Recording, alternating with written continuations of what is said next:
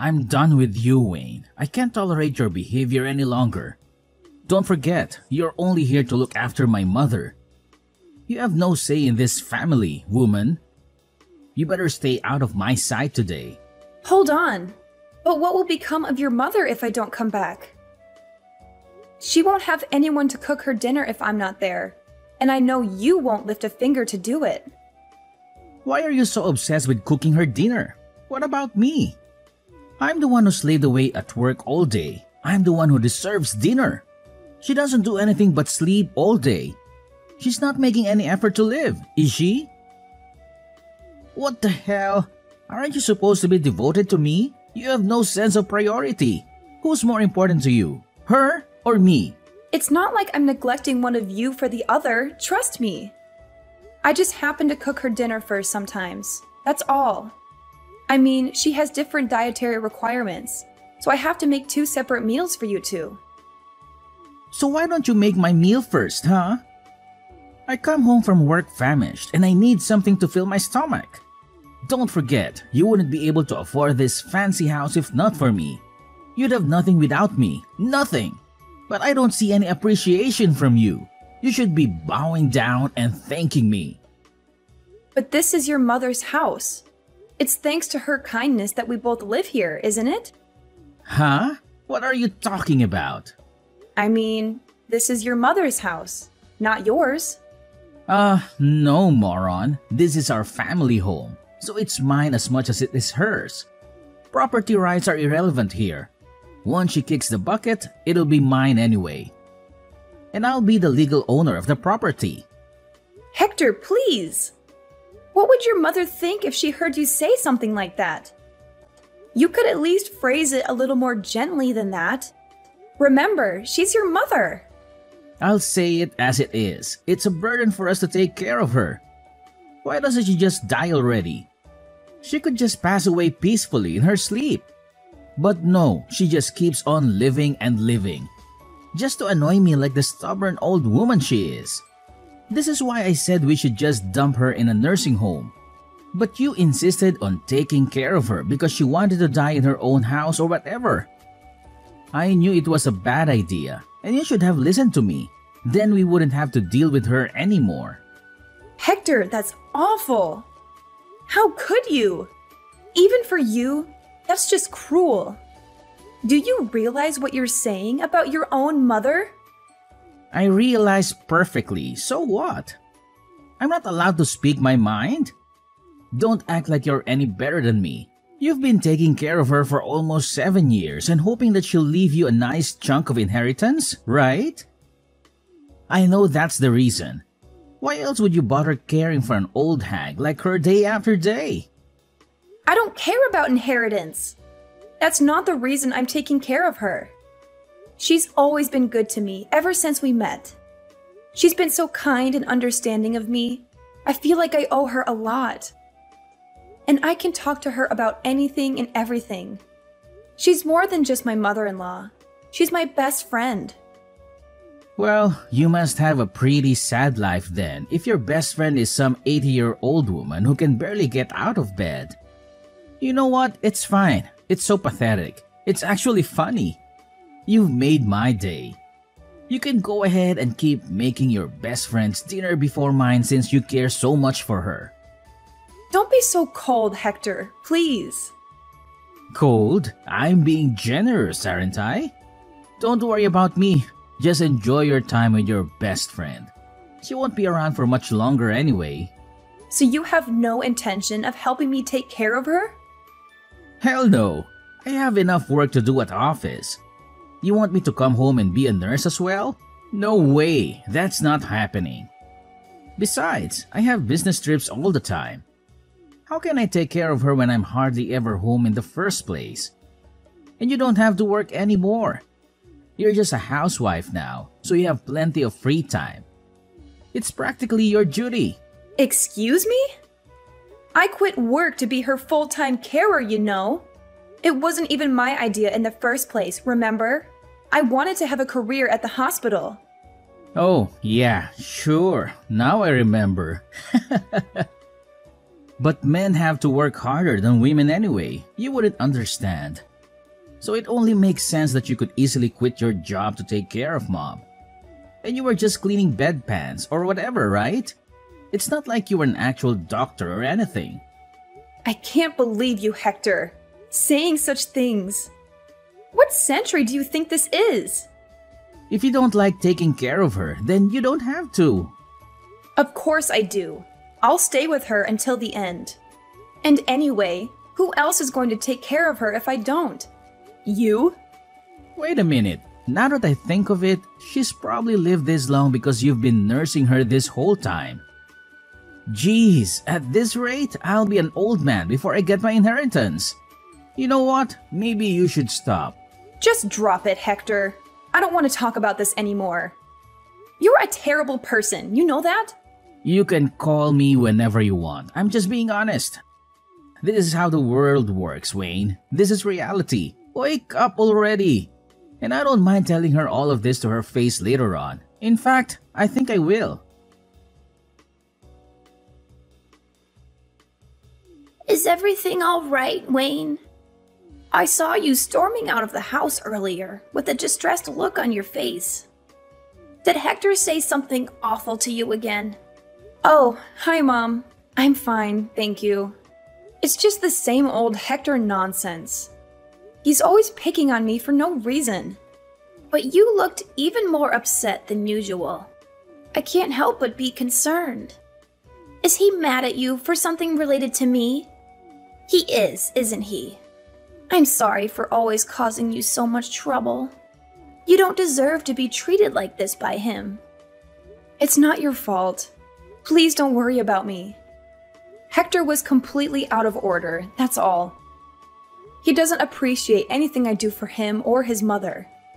Just earlier, he came to my room and told me he hopes I die.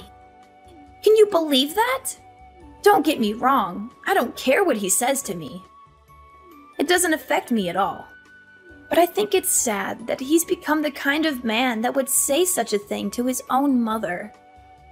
I wonder if I did something wrong with him somewhere. Maybe I spoiled him too much, or didn't discipline him enough. He said that? That's unbelievable! I'll never forgive him for treating you like this. You're such a wonderful person, Catherine.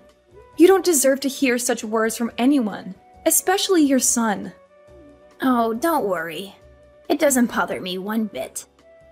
And anyway, I don't have much time left. Speaking of, I can't leave the inheritance to him. He doesn't deserve a penny. You'll get everything. Everything? No, I couldn't possibly. I have no right to that money. I want you to have it. You more than deserve it. You've sacrificed so much for us. You've given up your career and your dreams to take care of us. So, I've hired a detective. A detective? What for? I know Hector says he has lots of business trips, but I've been suspicious of that for a while now. I'm sure he's up to something shady. Maybe he's cheating on you or involved in some illegal activities. I'm sure if this detective follows Hector for a few weeks, he'll be able to uncover what's really going on. Maybe we can use that as leverage against him, or expose him for who he really is. You'd really go to that length for me? Of course. He may be my son, but I won't let him get away with hurting you. And this is all a frail old lady like me can do to help you out. I can't stand by and watch him treat you like dirt anymore. Catherine, you're not a frail old lady. You're strong and brave and beautiful. I hope you'll live for many more years yet. I love hearing your stories, and I've learned so much about life from you. And I'm so glad that I was able to meet a person like you before I died, my sweet Wayne. You've made it all worth it. Maybe it's strange to say this to the one who's been looking after me all this time. But these last seven years have been really wonderful. I've had the best of times. You've brought joy and laughter into my life. You've made me feel loved and cared for. I feel the same. No part of it has been a burden for me. I want to hear more of your stories. I want to talk with you more. You're the best thing that ever happened to me. You're still young. Don't waste your time on an old thing like me. Oh, I've just remembered I have a request for you. What is it? I'll do anything you ask. I want to record a video message for you to play at my funeral. But I'm not quite sure how to do it. Oh, I'm sure you don't need to think about funeral arrangements yet. You still have a lot of life left in you. You're not going anywhere anytime soon. No, it's about time. I can feel the end of my life is near. I'm making lots of preparations with that detective I hired. But can I count on you to handle the video message? I want to leave something behind for you to remember me by. Okay, I understand. For tonight, go stay in a nice hotel and relax. You can come home after Hector goes out to work tomorrow. I'll be fine until then. Are you sure you'll manage all by yourself? I'll be fine. Take care of yourself. Thank you, Catherine. Thank you for everything. Well, today's the day. It's finally here. Man, oh man, I was beginning to think the old hag was going to live forever. So, do you have everything ready for the funeral? You're in charge of the preparations, right? I wish today was your funeral instead. Hey, don't be like that. What did I do to you? Well, I guess I'll let your cheeky little comment slide today, Wayne. Since today, we have a cause for celebration, so let's get along. You're the worst of the worst, Hector. Your mother has just passed away. Have you no shame talking like that on the day of her funeral? Yeah, I guess not. Thanks for taking care of mom for the last seven years. It must have been rough. Just so you know, I'll be taking all the credit for it though. Fine, do whatever you want. It's up to you. So don't contradict me if anyone brings it up, okay? I'll pass as a good, dutiful son in front of all my relatives. By the way, who are all those weird guys with the suits and dark sunglasses lurking around? Do you know them? They're just your mother's associates. Don't worry about it. Weird. I've never seen those guys before in my life. What was my mom doing associating with those shady types? Well, she was a senile old woman who knows what she was getting up to or who she was in contact with. Anyway, I'm going to go prepare for my speech. Gotta make a good impression. By the way, after your speech is over, there's a video message your mom made before she passed. We're going to play it in front of everyone at the end. Huh? A video message? Well, alright, I guess. I didn't know people did those kinds of things at funerals. Not to mention, I didn't know she even knew how to use any technology invented after the 70s. How did she even make it? It was one of her wishes for how she wanted her funeral to be handled. So we helped her film and edit it, her associates and I. Wait, what about the contents of the video? What does she say? You've watched it before to confirm it's okay, right? I don't want her to say anything weird to make everyone uncomfortable at the ceremony, you know. Don't worry. I've played it through and determined it'll be fine to show at the ceremony today. She talks about you a lot, actually. I mean, you are her only son after all. I guess it's only natural. Okay, whatever. I got to go do my speech. See you after the ceremony. Good luck, Hector.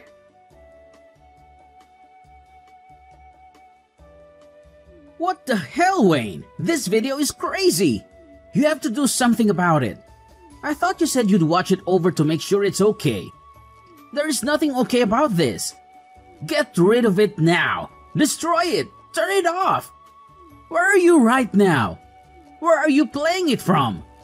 Don't you dare try to hide from me. Hmm. You want me to turn it off? Give me a break, Hector. Anyway, we're just getting to all the proof of your infidelity.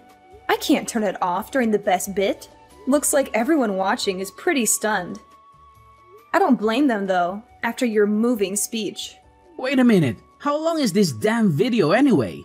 Turn it off, Wayne. Get rid of it. You have to. You can't do this to me. Like hell I will. And don't try to pull anything either, or those men in the dark sunglasses will stop you. Who even are those guys? What do you mean? They are the detectives and bodyguards your mother hired to investigate you. They're keeping a close eye on every move you make in case you try something. They're all professionally trained, so I'd sit quietly and keep watching the video if I were you. Are you crazy? As if I could just sit here and watch this crap? Wait, what is this? This is the part of the video where you're cursing out your mom and telling her to hurry up and just die already. I guess she's been recording your behavior for a while, huh? You've got to be kidding me. Since when did she have a hidden camera in there? That old hag! God, this is it. It's all over now. I'm finished. It's not over yet, Hector. In fact, it's just beginning. Your speech at the funeral just now was really sweet. So we need to make sure to pull back all the layers and reveal the truth to everyone. What should I do? What do you want from me? How do I make you forgive me? Can't you figure it out yourself? You'll forgive me if I apologize, right? I'll get up and confess the truth to everyone and say sorry. Is that what you want? Instead of double checking with me about everything, hurry up and get on with it. Okay, I'll do it. So forgive me. Damn it, Wayne. I've said sorry a thousand times. What's happening? How many times do I have to apologize before you stop the damn video? I can't do that, Hector. This was your mother's wish for her funeral. It's legally binding. I can't just stop it in the middle. She went through a lot of trouble to prepare it, you know? My boss is watching this, you moron. How am I supposed to explain this to him? If I get fired because of this, then what are you going to do, huh? No matter how much money she leaves us, we won't be able to live off it forever if I'm unemployed. Who's this we you're talking about? You don't think I plan to stay married to you after this, do you? We're getting a divorce when this is done. What? But you haven't had a real job in seven years. You think you can re-enter the workforce just like that? In this economy? You need me by your side to survive, Wayne. You have nothing without me. It's not like you're the one who gets all of her money after all. You have nothing. Well, that's not like you at all, Hector. Saying something so perceptive.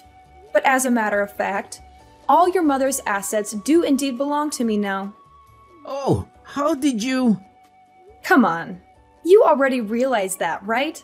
That's why you don't want a divorce, isn't it? That's why you're saying all this. Even you aren't stupid enough to think you'd be getting an inheritance in this situation. But too bad. No matter what you try to pull, now we're getting a divorce. God damn it, Wayne. How dare you? Do you have any idea how many years I've been waiting for that inheritance? Why do you think I even took care of that old bat in the first place? I knew I should have sent her to a home. I've sacrificed so much for this inheritance. You can't just take it away from me at the last minute. I won't let you. Huh? What have you sacrificed exactly? While I was at home taking care of her, you went out and about messing around with other women the whole time. What right could you possibly have to this inheritance when you've done nothing to deserve it? Oh, shut up! What do you know about it? It was your obligation to take care of her. Oh, look, here's the part of the video with the evidence of you spending company money to go to a hotel with another woman. No, you're kidding me. Still, even looking at the evidence, I can't believe you really used company money to do this kind of thing. I'll give it to you, Hector. You sure are brazen. Those detectives your mother hired sure are something, aren't they? Digging this much up? I can't sit here and watch this anymore. Where are you? I'm right here, Hector, in the front row, watching your face as your life falls apart. What? You're here? How did I not see you? Maybe because you were too busy looking for me upstairs. Or maybe it was because you were too busy lying to everyone in your speech. You bastard! How could you betray me like this? Betray you? Don't make me laugh. You're the one who deserves this, Hector. You deserve everything that's happening to you right now. So, have you recovered? Of course I haven't recovered. Both my legs are broken, you idiot. This is all your fault that I ended up like this. It's all your fault. How is it my fault? You're the one who ran up to the second floor looking for me and ended up jumping out of the window in fear when the bodyguard came after you. It's hardly my fault that you're an idiot. Shut up! How dare you call me an idiot? Do you understand what situation I'm in right now because of you, woman? Show some humility for once in your life. I might never be able to walk again, and it's all your fault. Oh, wow, really? Then you can understand how your mom felt, can't you? Just so you know, all of our relatives have disowned you. Naturally, you've also been fired. Oh, and once the divorce is underway, I'm going to claim compensation for emotional damages on account of your various affairs. Also, I'm going to distribute this video to your friends and all of her neighbors. Fine, do whatever you want. I don't care anymore. By the way, after all the evidence against you was shown, there was one last part of the video you didn't see. It was a message just for you. She talked about how she made this video exposing you, so you couldn't take the last seven years we'd spent together. She really was a wonderful human being. I'll never, ever forgive you for trying to insult her memory. Look, I get it. I messed up. I was overcome with greed for inheritance, and I lost my common sense. I feel bad for hurting you both. I shouldn't have treated you guys that way. I agree, but I'm still never forgiving you, just so you know. By the way, you're getting treatment at the hospital, aren't you? Hmm, that won't do. Huh? What do you mean? I mean, since you're receiving this treatment, it's going to end up prolonging your life, right? So what? What's wrong with that? Well, that's not fair, is it? Your mother died because of your cruelty and neglect. You don't deserve to live longer than her. After that, Hector was left alone at the hospital, with no one to care for him. It took him many months of painful rehab before he was able to walk by himself again. But during that time, not one person came to the hospital to visit him or offer him any support. I wonder what he thought about passing the time stuck in a hospital bed for all those months.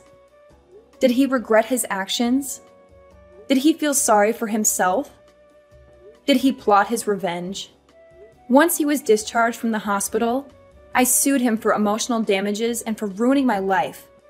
He had lost his job and his reputation, and he had no way of paying the huge amount of money I demanded from him, along with his medical bills.